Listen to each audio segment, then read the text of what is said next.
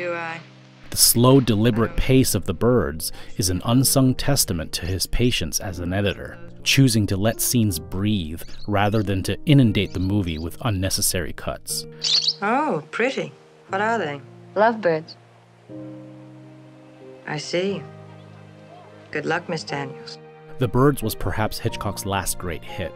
His five subsequent films, while fascinating and often pushing the envelope of nudity and violence, struggled to match the impact of his former Hollywood output. But perhaps it is in those 25 or so films since Rebecca, his first Hollywood movie, that he finally returned to his favorite genre horror.